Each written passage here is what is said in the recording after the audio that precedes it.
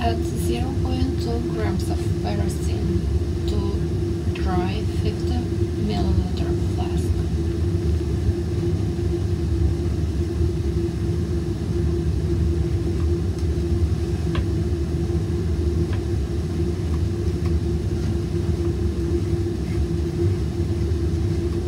Then add 2 milliliters of acetic anhydride.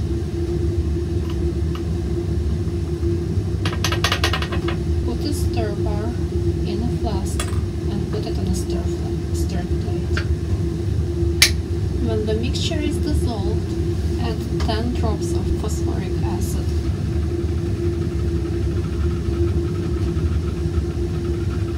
Swirl it. Attach a drying tube and put it in a water bath for 5 minutes. Remove the mixture from the water bath and let it cool for 10, 10 minutes. When the mixture has cooled, pour it on 10 grams of ice.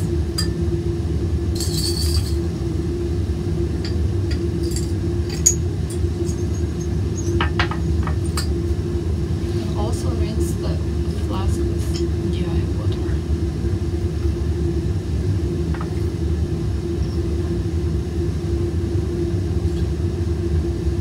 Neutralize the mixture with sodium hydroxide until you reach pH 7.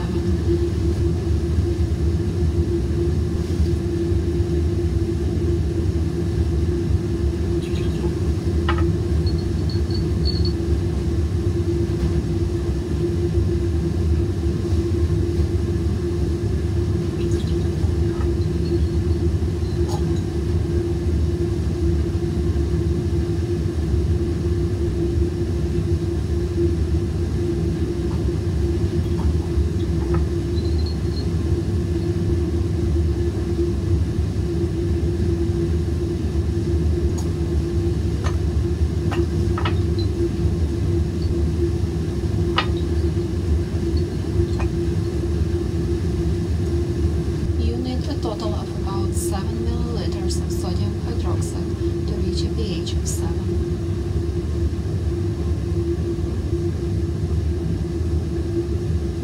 Use vacuum filtration to collect the product.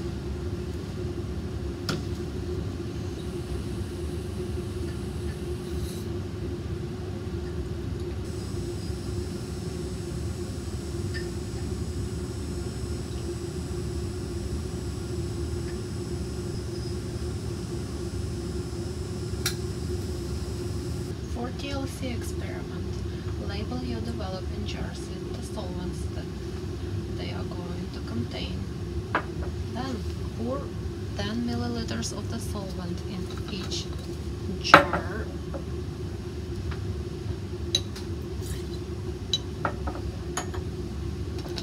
Close the lid. Label your TLC plates. This one is labeled for has a spot for ferrocene for the mixture and it also labeled with the solvent 100% hexanes. To make a mixture for TLC, place a tiny amount of your product in a test tube and add 1 milliliter of methylene chloride. Spot your TLC plate and put it in a jar. Remove the plates from the jar and mark the solvent count with the pencil. Take a 200 ml beaker and fill it to 100 ml mark with dry silica gel. Then add hexanes and make slurry.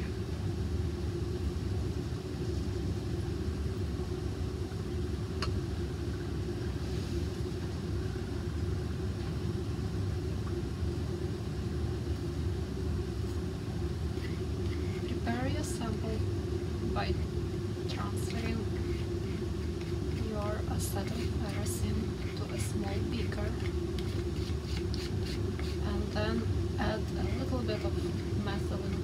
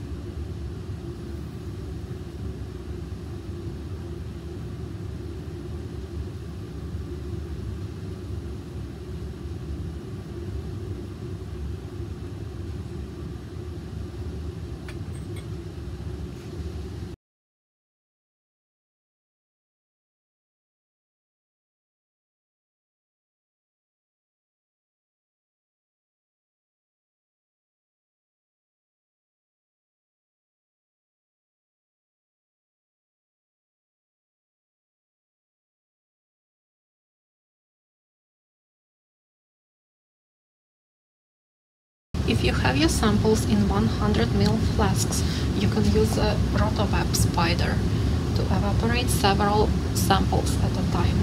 To do that, attach the spider to the RotoVap, then attach the flasks, secure them with the clip. When you have 250 ml flasks, you have to use it one at a time. For that, you will have to use a RotoVap insert. Secure it with the clip to the RotoVap. And then attach your flask. When you use RotoVap, make sure that you use a small amount of vacuum grease on all ground glass joints. Also make sure that the water is filled to the minimum marking and turn on the pump and run it for 2 minutes before you start using the RotoVap. When you are done, you should also run a pump for 2 minutes. Add dry ice to the isopropyl in the condenser.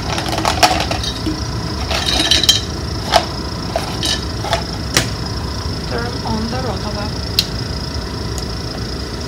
Make sure that the water bath is at about 30 degrees Celsius.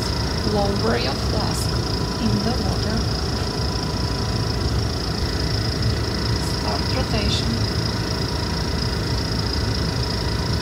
And close the vacuum.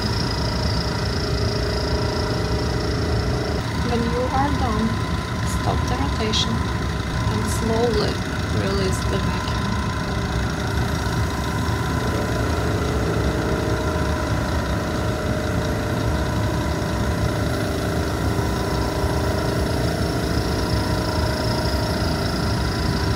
Your flask.